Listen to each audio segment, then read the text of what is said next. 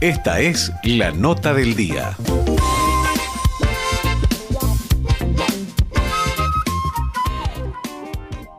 Bueno, se concretó el primer fin de semana, más o menos colmó las expectativas de lo que se venía anunciando, promocionando y demás. La verdad que sí, bueno, estamos terminando la tercera jornada, eh, las primeras jornadas respondieron muy bien, en función al, contexto en que estamos viviendo una situación económica tan difícil, hemos podido mantener eh, los niveles de gente similares a los de, del año eh, pasado, en cantidad de ventas de entradas estuvimos exactamente igual, hubo un poquitito todavía más este año. Me parece que eso responde a una buena campaña de, promoción y de publicidad que se hizo, eh, bueno, justamente para poder captar al mayor público posible siendo una situación tan complicada. Me parece que una de las cosas que, que, estuvieron muy bien fue el establecer los precios, porque al quedar eh, los precios accesibles, la gente estuvo consumiendo en el lugar y se pudo quedar, que por ahí otros años no pasaba tanto y se iban más para el centro. Así que me parece que eso también fue clave eh, antes de comenzar la fiesta, ¿no? de tenerlo pactado.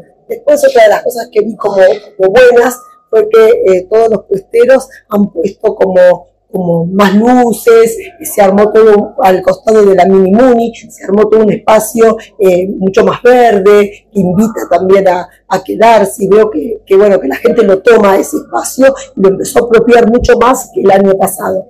Eh, se ve gente en los dos escenarios, el segundo escenario eh, convoca también público, es un público más joven, pero bueno, recién venimos del speech y vemos que también la gente se junta ahí para hacer ese tercer speech, siendo que está Polka Rock en el escenario principal, que también atrae, pero sin embargo había mucha gente en el speech también.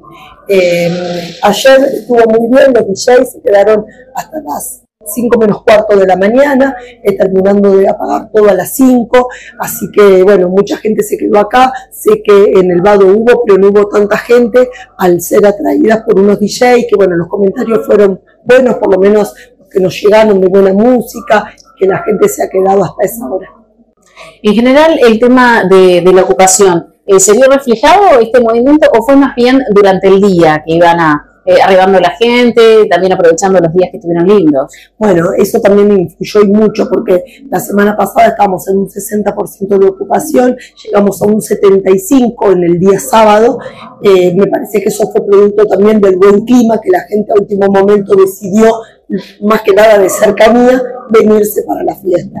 Igualmente, ya estamos viendo que para el próximo fin de semana, hasta el día viernes, estábamos en un 80%, así que ahora al volver a relevar, vemos que este incremento seguramente va a suceder para estar con una mejor ocupación para el segundo fin de semana.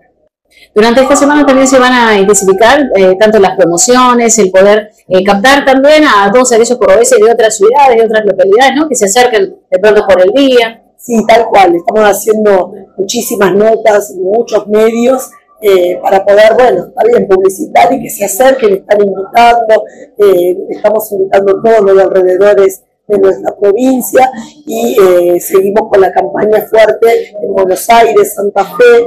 Cuando acá se pregunta de dónde viene la gente, la mayoría es de Santa Fe y de Buenos Aires. Así que bueno, ya las estadísticas las vamos a tener en la semana de procedencia, pero sabemos que son las dos provincias, junto con Córdoba, que, bueno, que pesan fuerte en cuanto al, al público. Esta fue la nota del día.